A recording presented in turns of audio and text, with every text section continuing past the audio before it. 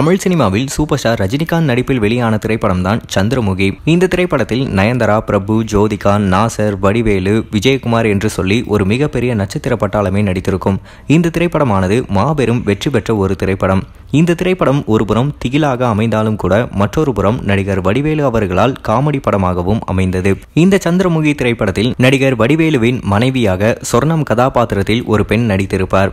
முதலில் இந்த கதாபாத்திரத்தில் நடிகை கோவை சரளாவை நடிக்க வைக்கத்தான் படக்குழுவினர்கள் முடிவு செய்தனர். ஆனால் அப்போது நடிகை கோவை சர்லா பிஸியாக இருந்ததால் அவரால் நடிக்க முடியவில்லை. அதற்கு பதிலாகத்தான் சொர்ணம் கதாபாத்திரத்தில் வேறு பெண்ணை நடிக்க வைத்தனர். அந்த பெண்ணின் பெயர் கூட உண்மையில் சொர்ணம்தான் அவர் பிரபலமான மலையாள நடிகை. சந்திரமுகி திரைப்படத்தில் வடிவேலு ரஜினிகாந்த் மற்றும் சொர்ணம் மூன்று பேரும் சேர்ந்து செய்யும் காமெடிகள் திரையரங்கை அதிர வைத்தது என்று சொல்லலாம். இந்த சொர்ணம் கதாபாத்திரத்தில் நடித்த நடிகை சொர்ணம் அவர்கள் மலையாளத்தில் பிரபலமான நடிகை.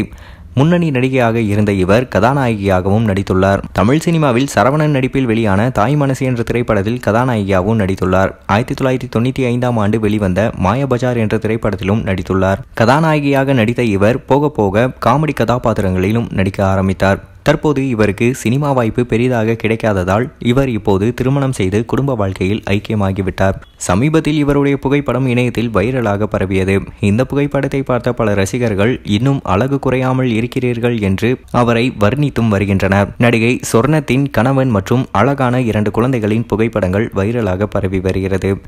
இவரை பற்றிய உங்களுடைய கருத்துக்களை மறக்காமல் பதிவிடுங்கள். நன்றி வணக்கம்.